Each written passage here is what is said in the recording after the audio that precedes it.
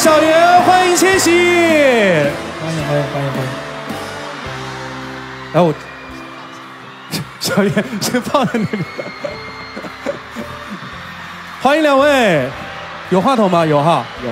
来，两位也跟大家来打个招呼。Nói nhanh đi, ông ý giận giờ. 大家好，我是王源，很高兴今天来到这里。大家好，我是易烊千玺。我来问一下，两位都是带着礼物来的。对对对。刚刚已经是烫的是吧？送的是什么？是太重，太重了。因为我今天带的是一个火锅来，然后火锅。对，今天才去买的，因为要保证有点新鲜。然后火锅。对，今天才去买的，因为要保证有点新鲜。展示一下吧，来。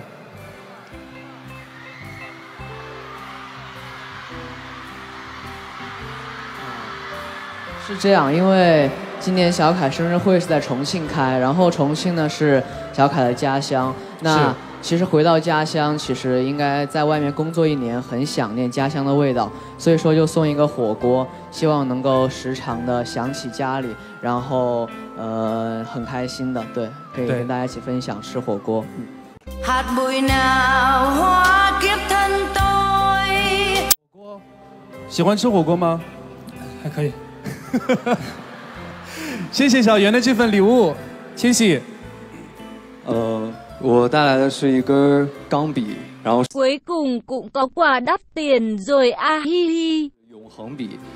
Hạt bụi nào hóa kiếp thân tôi 写下去不会，就那个印记不会消失掉的。Hóa ra là nghĩ cho hàng son của mình à 然后就是希望小凯能书写下自己永恒的青春。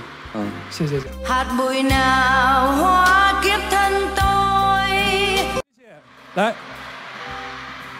交给就放在这个桌，交给小凯吧，来，谢谢，谢谢，谢谢。好，那接下来来许一下属于自己的愿望，好不好？Chắc định cắt cơm của tụi tôi chớ gì Biết thừa nhé 最后一个愿望留在心底，可以，你可以跟我们分享一一两个吗？